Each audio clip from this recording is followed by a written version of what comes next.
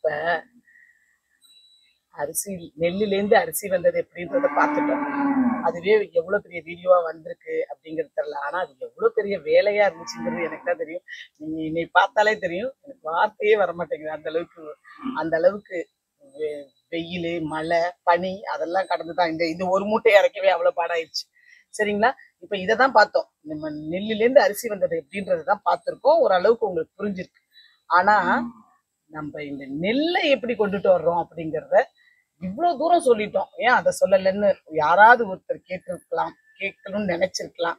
இல்லை நானே கூட நினைச்சு சொல்லியிருந்திருக்கலாம்னு நினைச்சிருக்கலாம். அதுக்காக வேண்டி இன்னைக்கு ஃபுல்லாக அலைஞ்சு தேடி கண்டுபிடிச்சி ஒரு ஒரு நெல்லுலேருந்து எப்படி நடவு நட்டது நாற்று விட்டது களையச்சது எல்லாமே ஒரு வீடியோவாக எடுத்துருக்கோம். அதை பின்னாடி சின்னதாக இவ்வளோ தூரம் இல்லைனாலும் சுருக்கமாக சுருக்கி கொண்டு வந்துடுறேன். அதையும் அப்படியே பின்னாடி பார்த்துட்டு உங்களோட கருத்துக்களை கமெண்ட் பாக்ஸில் சொல்லவும். பார்த்தீங்கன்னா இதுதான்ப்பா விதை நெல் விதை நெல்லை அப்படியே பாய் நாத்தா விட்டுருக்காங்க. இதை எடுத்துட்டு போய் இப்போ நம்ம அடுத்த ஸ்டேஜ் பார்க்குறோம்ல அதுக்கு பேர் தான் நடவு. அது வளர்ந்து வர்றது தான் நெல் அவ்வளோதான் பார்க்கும்போது இது ரொம்ப ஈஸியான வேலையாக தெரியும். அது ஒரு பெரிய ப்ராசஸ்ங்கிறதுக்கு ஃபஸ்ட்டு அடித்தளம் இது. இங்கேருந்து வர்றது தான் அதெல்லாமே. இப்போ பார்த்தீங்கன்னா நெல் விவசாயம் பண்ணுற எல்லார்ட்டையுமே ஒரு போர் செட் இருக்கும். இது எதுக்கு அப்படின்னு சொல்லி பார்த்தீங்கன்னா நாத்து அங்க ரெடி ஆகிட்டு இருக்கு பாத்தீங்களா? அந்த நாற்றை கொண்டு வந்து இங்க வந்து நாற்று வேண்டி அப்படியே வச்சிருக்காங்க.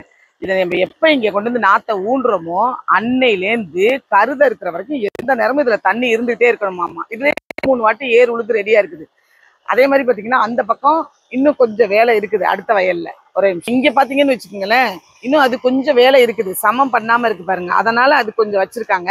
இது பாத்தீங்கன்னா இப்ப நாளைக்கே கொண்டு வந்து அங்க நம்ம பார்த்தோம்ல அந்த நாற்றை கொண்டு வந்து இதுல ஊனிடுவோம் தண்ணி இருந்துட்டு தான் இப்ப இதுக்கப்புறம் வேலை ஆரம்பிக்க போறோம் அப்படின்னாலுமே அந்த தண்ணி வந்து எப்பயுமே ஈரப்பதத்தோட தான் இருந்துகிட்டே இருக்கணுமாமா இப்ப பாத்தீங்கன்னா இன்னும் அங்கிட்டுலாம் நாத்து விட்டுட்டாங்க. அதையும் அப்படியே பார்த்துடலாம்.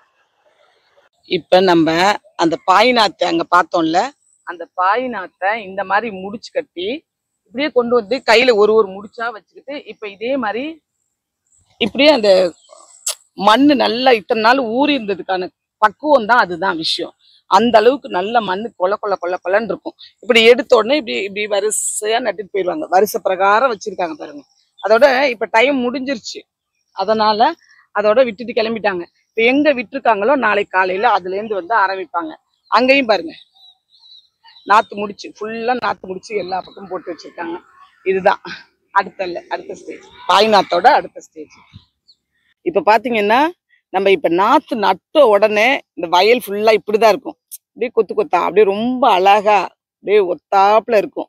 இதுவும் ஃபுல்லா இனிமே இது ஃபுல்லாமே அப்படியே தண்ணியிலே தான் இருக்கணும். அதுக்கப்புறம் இதுக்கு மருந்து அடிக்கிறது உரம் வைக்கிறது இதெல்லாமே இது இதுக்கப்புறம் நடக்கிறது தான்.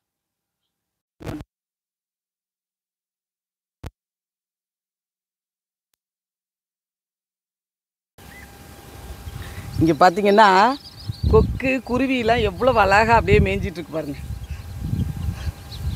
அப்படியே அதில் அங்கே இருக்கிற அந்த மண்புழு அதில் ஏதாவது விதை நெல் ஒன்று ஒன்று அங்கங்கே சிந்தி இருக்கும்ல அதெல்லாம் அப்படியே சாப்பிட்றதுக்காக வேண்டி அப்படியே வெயிட் பண்ணிகிட்ருக்கோம் இருக்கோம். கொஞ்ச நேரம் கழித்து இப்படி பறக்க ஆரம்பிச்சிச்சுன்னா எல்லாம் ஒத்தாப்பில் பறக்கும்.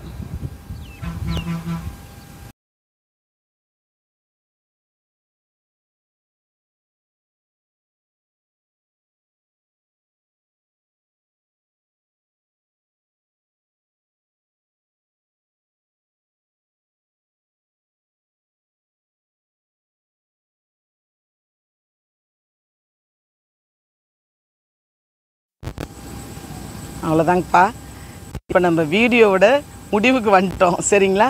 இப்போ என்னன்னு பார்த்தீங்கன்னா நம்ம இதுக்கு முன்னாடி பார்த்தோம்ல அந்த அளவுக்கு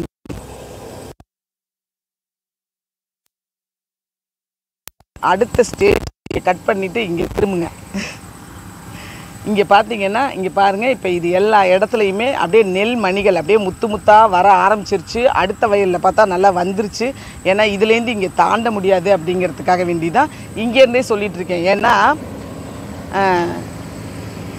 இது இன்னும் கொஞ்சம் முத்தி இந்த கருது வந்து நல்ல மஞ்சள் கலர் ஆனி நம்ம வைக்கல் சொல்லுவோம்ல அந்த கலர் ஆனோடனே நல்ல நல்ல கருது அப்படியே நல்லா அப்படி உருவி பார்த்தோம்னா நல்ல முத்து முத்தாக நெல் அப்படி வந்துடும் அந்த அந்த ஸ்டேஜில் அப்படியே அதை அப்படியே அப்படியே அறுத்துருவாங்க. அறுத்துட்டு போய் மறுபடியும் மிஷினில் கொடுத்தோ இல்லை ஆளுங்களை வச்சோ நான் நெல் அடிச்சிருவாங்க. அடித்து தான் மூட்டையாக நம்ம போய் ஃபஸ்ட்டு வாங்கினோம் பார்த்தீங்களா அந்த இடத்துக்கு வரும்.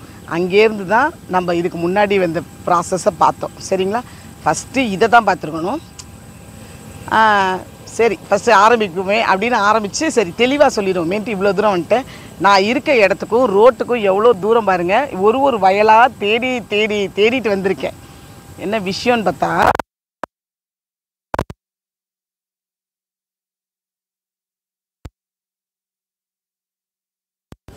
அதை கோர்வையாக கொண்டு வரணுங்கிறதுக்காக வேண்டி ஒரு ஒரு இடமா தேடி தேடி போய் இன்றைக்கி ஃபுல்லாக இதை தேடி முடிஞ்ச அளவுக்கு இந்த மூணு நாலு நாள் இந்த வேலையை நம்ம எடுத்து செஞ்சுருக்கோம்.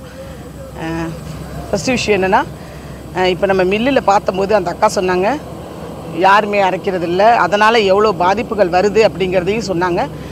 அப்போ இன்னும் கொஞ்சம் நாளில் சுத்தமாக இப்பயே அதாவது விளைய இடம் அரைக்கிற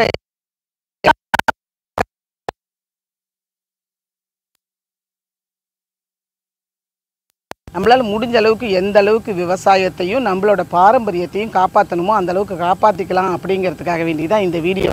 அளவுக்கு ரிஸ்க் எடுத்து செஞ்சுருக்கேன். அவ்வளோதான் எவ்வளோ சொல்ல முடியுமோ அவ்வளோ சொல்லியிருக்கேன்ப்பா இந்த வீடியோ பற்றிய கருத்துக்களை கமெண்ட் பாக்ஸில் சொல்லுவோம். நம்ம நெக்ஸ்ட் ஒரு வீடியோவில் பார்க்கலாம்.